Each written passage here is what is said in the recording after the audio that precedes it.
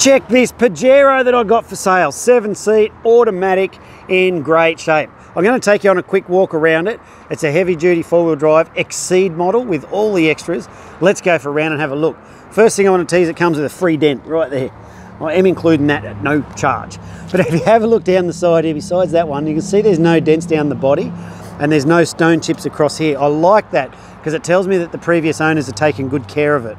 So I got the alloy wheels and the step leather seats and all that inside. Got the power windows here. You see the leather seats they're all in great shape. It's got a drop down radio looking thingy thingy up there. In the automatic with all the gadgetry and stuff like that going on. Does have 288 k's on the clock let me show you. So we'll just bang that onto there. There we go and we have the digital display up here. This display is awesome because there you go, it tells you the compass heading and all that sort of stuff and all those grooving features. Having a look through here, you can see we've got again the back seats there. They drop down. You just put a little lever back here so the kids can get over the back and do what my kids do. They fight over which bastard sits in that back seat. Don't know if yours will, but mine do.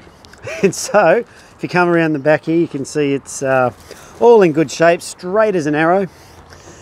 Got the tow bar on the back for tow and stuff. Those seats actually fold down into here.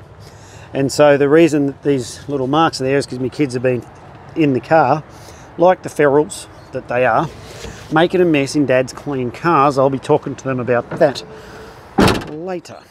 So anyhow, as we keep moving around, you can see down here that we've got, what's that Bunnings umbrella doing in there? Kids, oh my God.